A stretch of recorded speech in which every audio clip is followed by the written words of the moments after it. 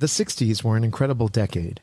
From civil rights to the sexual revolution, people were rising up and shifting the cultural landscape. And it's during this time that a man with an extraordinary eye for photography began Colt Studios and introduced us to a new way of looking at the male physique. Jim French began Colt Studios in the late 1960s, beginning the most successful empire of male nude imagery since Bob Mizer's Athletic Model Guild.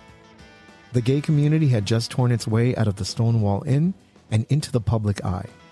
The U.S. Post Office had just lifted its ban on male frontal nudes passing through the mail system. Under the pseudonym Rip Colt, French created a sleek visual language for worshipping the male body. Colt Studio launched as an erotic physique photography catalog that would mail folios of images to customers on their mailing list. Although there were other companies doing the same, Jim French, the founder of Colt, also known as Rip Colt, soon perfected his technique and stood out on his own. Colt Studio would go on to become an icon of gay erotica. Although Colt was not initially a gay porn film company, they are technically the oldest gay porn studio in the United States, having started as a mail order photography company and moving on to gay porn video in the early 1980s. If you ever bought a Colt Studio magazine or were lucky enough to get your hands on one of their early film loops, you would have come across a model by the name of Dakota. Tall, blonde, and a beautiful body, Dakota quickly became one of the superstars Colt can count on because of his popularity. But Dakota was an alter ego. His real name was Ken Sprague, and he was a big fucking deal in the formative years of bodybuilding as a sport. From owning the original Gold's Gym to palling around with Arnold Schwarzenegger, Ken Sprague was no regular porn star. On tonight's episode, the first of season four of Demystifying Gay Porn, we're going to recognize Jim French, the man behind the camera better known in the adult entertainment world as Rip Colt.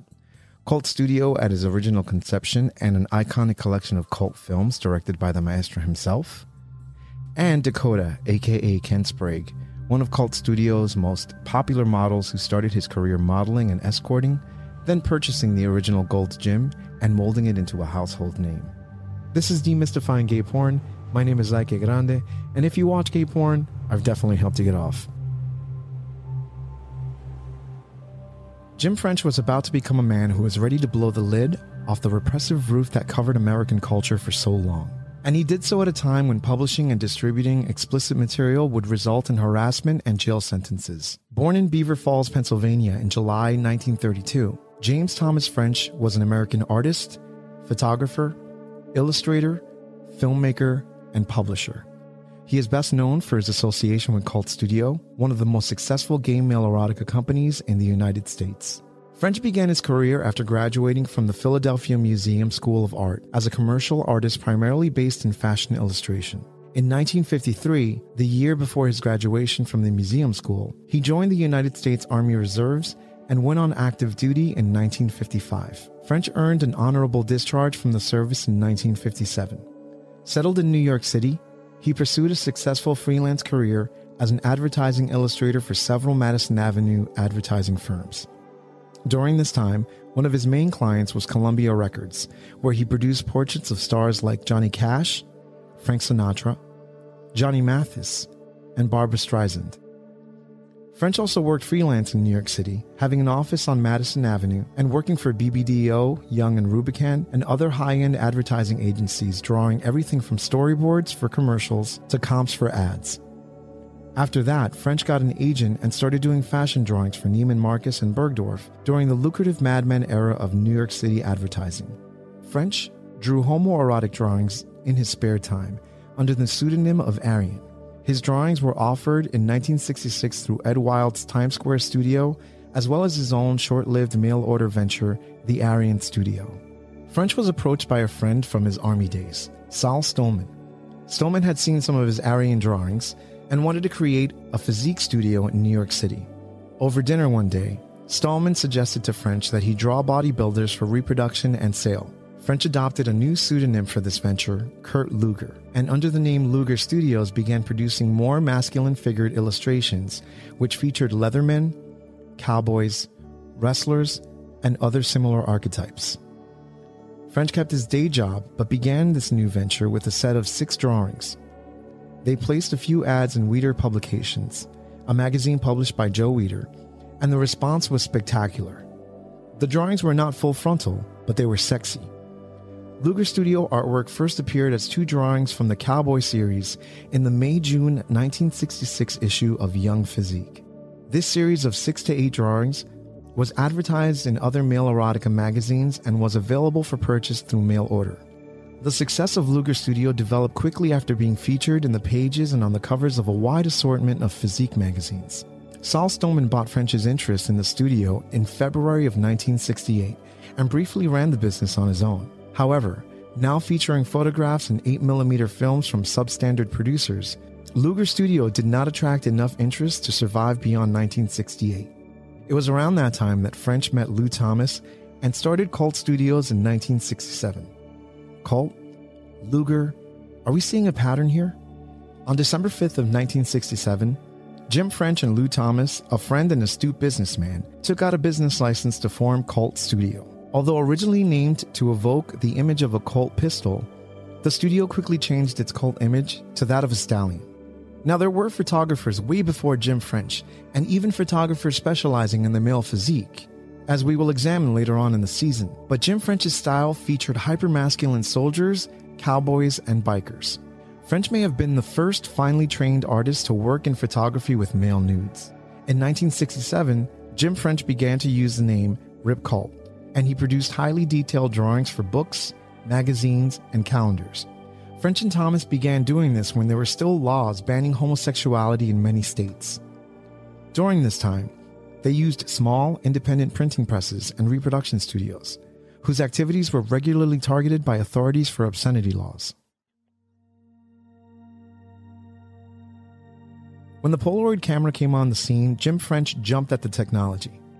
Not having to rely on processing the images, he started portraying male models for research studies and their edginess built a new market, exuding with countercultural cool that influences Robert Mapplethorpe, Herb Ritts, and Bruce Weber. French was in Florida when the Polaroid was invented and introduced. In order to make his vision more believable, French looked to Polaroids for the answer. Before the camera's advent, it had been a challenge getting erotic subject matter that was shot on film processed, as many venues were reluctant to deal with the material. The Polaroid camera, which contained its own processor, solved that issue with its instant results.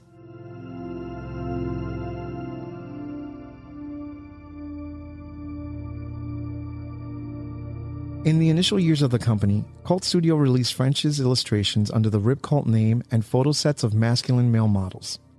The studio eventually added short films, magazines, and calendars. The studio was based in New York City for six years, and then in 1974 relocated to Studio City in California due to French's frequent travels. It was around that time that French realized he didn't really need a business partner. He needed a business manager. Thomas and French remained business partners until eventually it became a toxic work environment. French bought the company's shares, owned by Lou Thomas, who soon formed his own business, Target Studios, a venture which provided the underground demographic with quality homoerotic art and film. Colt Studio grew into one of the most successful gay photography studios of its time and offered the highest quality male erotica commercially available. Jim French's company was famous not only for its stable of male models, but also for its magazine brands, which included Spurs, Colt Men, Manpower, and its film venue, Colt Studio Presents. French ran the company until 2003 when he sold the studio to former Falcon Studios director John Rutherford and his partner Tom Settle. Jim worked very hard to build his brand and a business, but feels he sold at the right time. With the rate of piracy in the world becoming so prevalent, Jim sold Colt Studios in 2003 and started a business in fine arts. He attributes the internet from saving him from going too far. For a few years after the sale of Colt Studio, Jim French continued to privately sell salon style prints of his photographs before he settled into quiet retirement. French's photographs and illustrations can be found in many private and public collections. Jim French passed away peacefully in his sleep at his Palm Springs, California home on June 15, 2017. Jim French's pioneering work in modern masculine male nude photography helped countless young and closeted gay men have a place and provide role models. He helped create images of men that are still popular today. According to Jim French, his timing was just right. He began working on his nudes after the sexual revolution had exploded into the zeitgeist, allowing artists of all mediums to revel in their sexual expression. Today, French's images have become icons of a singular moment in gay history post Stonewall and pre AIDS, post Beefcake and pre VHS. These days, new concepts of what makes a man and gender fluidity represent a freedom away from the classic construction of the butch man. Nevertheless, Jim French influenced the ideals of male beauty forever with astonishing skill and an eye for the subtle erotic. But Colt Studio was born of an era of fantasy, its men existing only in French's photographs. There is a tradition of these communication gaps between gay men, the narrative always broken into disparate eras with disparate priorities. Fun fact a sex shop in London hung a t shirt made by designer Malcolm McLaren that reproduced an image of Jim French's called Longhorns. It was later worn by Sid Vicious, the lead singer of the Sex Pistols. Jim had no idea that his image was being used and never received royalties for his art. However, it is a testament of how far his work had infiltrated and inspired mainstream culture.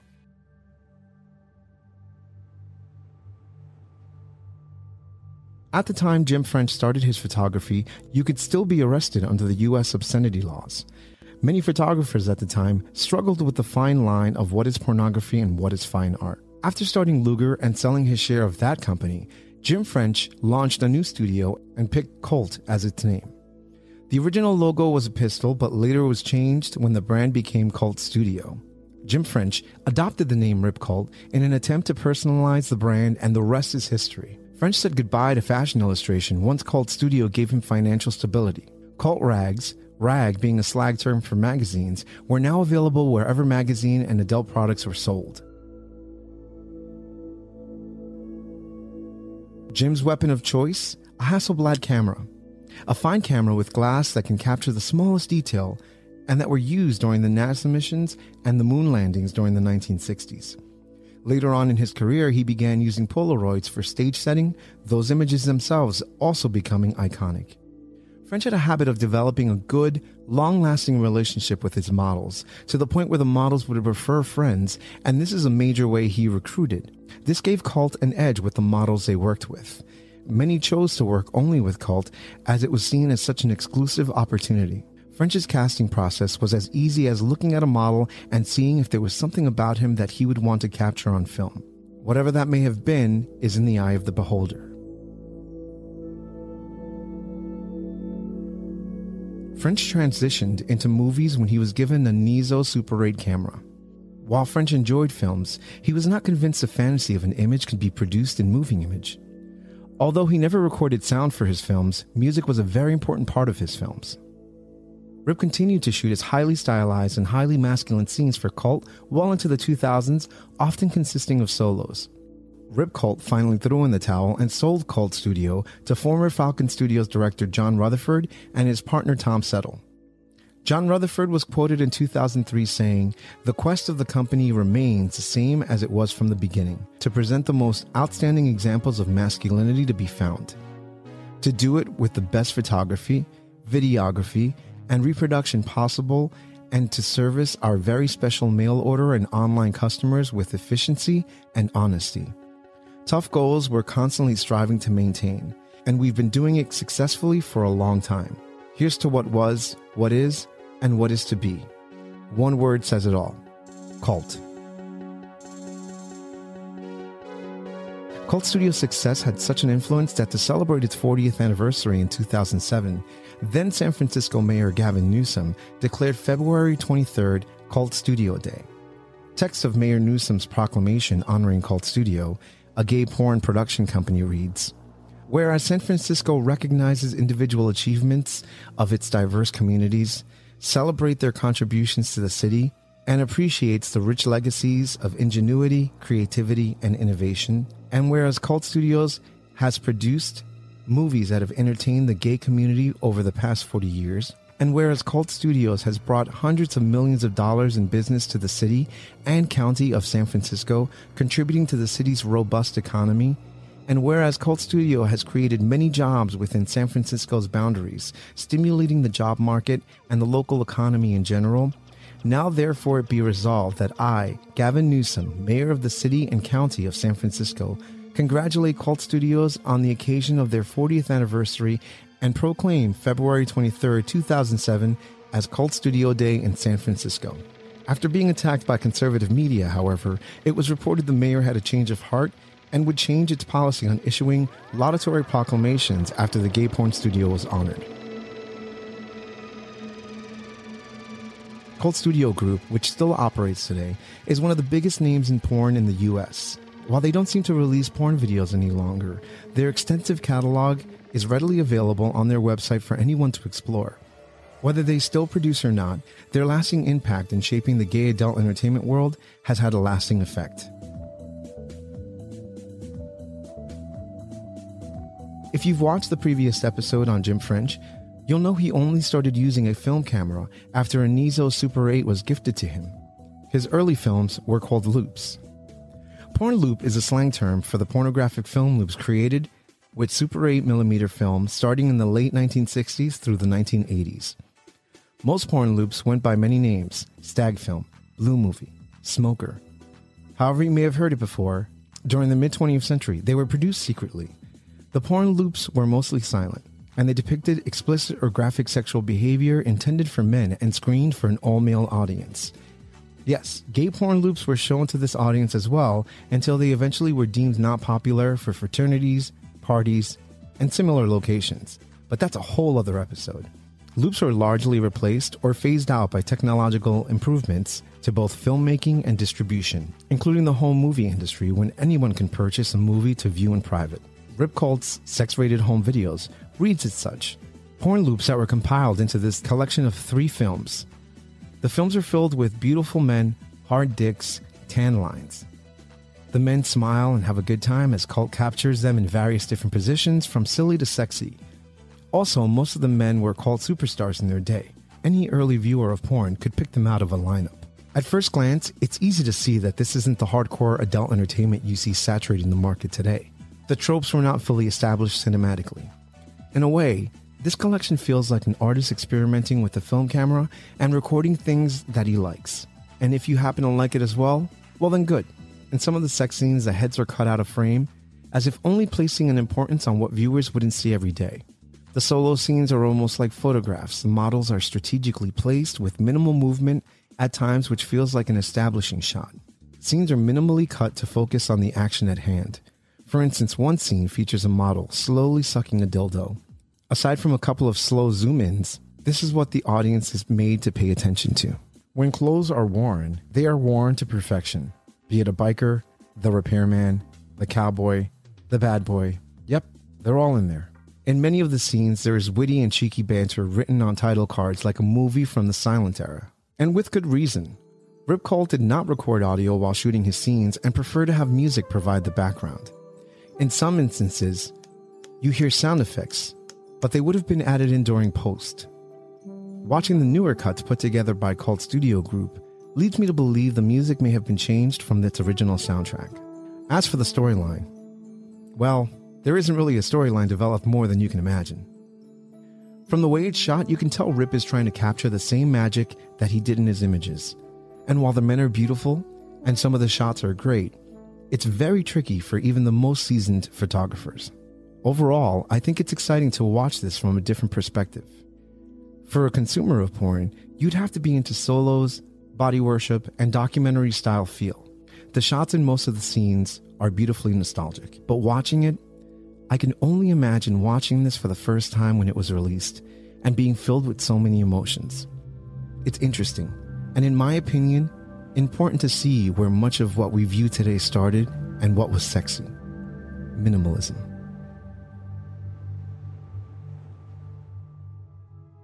Ken Sprague was born on July 14, 1945, in Cincinnati, Ohio. Growing up comfortably, Sprague's family were cultured in art, politics, and athletics. His mother was a ballet dancer, his father a contractor. Since childhood, Sprague was led to develop passion for sports.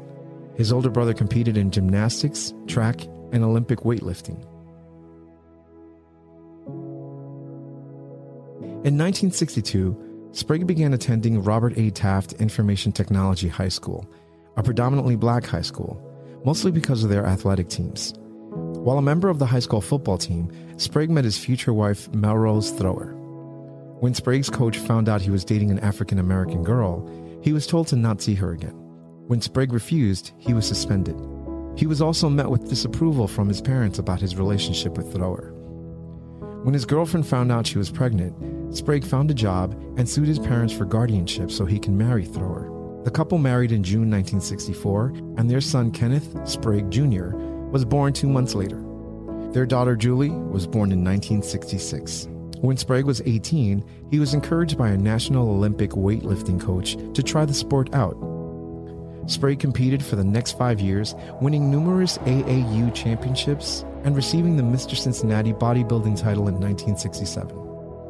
Sprague attended the University of Cincinnati on a track scholarship. The scholarship lasted one semester, and Sprague was forced to combine his studies with work and family. It was around this time that Sprague and Thrower would divorce.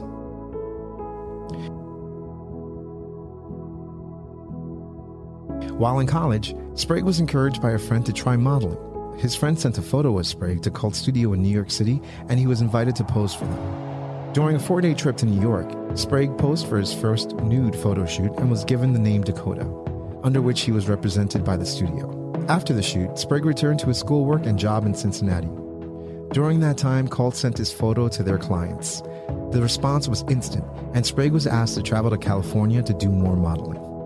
In March 1970, Sprague arrived in California and did a second photo session when he was approached by a private collector to appear in a hardcore sex film. His co star in that film was another bodybuilder and rising porn star, Jim Cassidy. Both men would go on to serve as a template for characters in the novel The Iron Game by David Carter. The author described Sprague as never feeling any guilt and someone who would take whatever position was necessary to ensure that he would end up in good shape financially.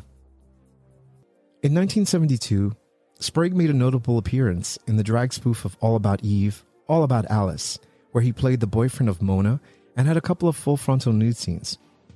It was rumored that Sprague worked as a hustler besides his work in porn.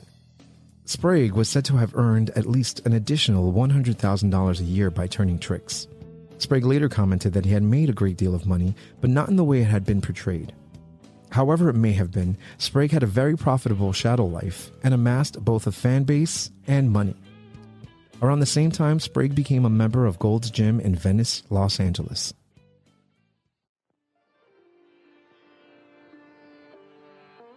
Sprague had discovered Gold's Gym while vacationing in California in the summer of 1969. He would sneak in the train when the manager was out on lunch and was struck by the beauty of the gym's proximity to the ocean. He moved west the following summer and enrolled in Gold's Gym. By 1972, he had enough money in the bank to make a down payment on Gold's. On May 26, 1972, Sprague became the new owner of Gold's Gym in Venice, California. The then declining fitness club had less than 100 paying members. With the cooperation of wealthy friends and acquaintances, he also acquired a soundstage in Hollywood Originally started with the idea of becoming a major influence in the field of pornography, the stage served mainly to produce gay porn. Sprague himself produced several all male short films, which were later released as two feature films Lodestar and California Superman, under his own company, Dakota Productions. Other bodybuilders had appeared in his scenes as well. Soon after he bought the gym, Sprague upped its cachet by sponsoring muscle contests that fetched big crowds, paying Waller and Schwarzenegger 50 bucks apiece to guest pose before judging. Bayoued by the turnout, Sprague began promoting Mr. America tournaments, which typically drew just a few hundred fans and paid no prize money for the winner. Sprague staged the event as a three ring circus, leading a parade of half clad bodybuilders riding bull elephants to the Santa Monica Civic Auditorium while brass bands played and a plane flew overhead trailing a banner trumpeting Mr. America. And of course, Gold's Gym. He sold 6,000 tickets and offered the top tier patrons the chance to personally oil up a contestant. Sprague would earn a second fortune creating and staging shows, adding the Gold Classic and Mr. California to the contest season. His masterstroke, though, was hawking products that no gym owner before had thought to sell. He printed Gold's t shirts and asked the crew to wear them during shoots. They sold faster than he can mail them. Suddenly, there were stories in LA papers about the swinging new trend of pumping iron and the celebrity sightings at that hotspot, Gold's, with stars like Clint Eastwood, Jane Fonda, and Muhammad Ali dropping into train. Fun fact By now, you know that Ken and Arnold were buddy buddy during the golden era of Gold's Gym. In 1974, Sprague used some film footage of Arnold posing in one of his porn films. Arnold was rightfully angry and threatened to sue Sprague. Joe Weider stepped in to settle the issue. Sprague regretted using the footage and removed it.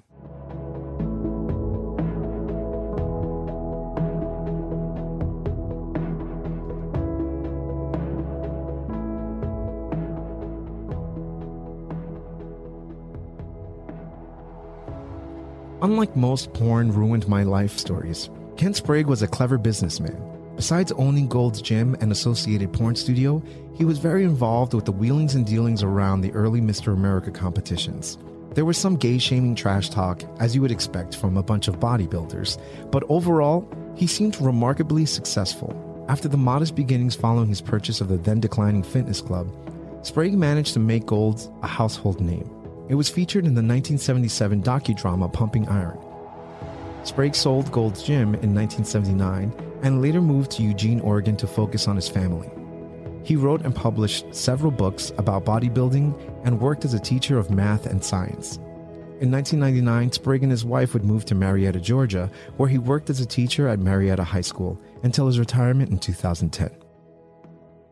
You've been listening to Demystifying Gay Porn. I am your host, Ike Grande.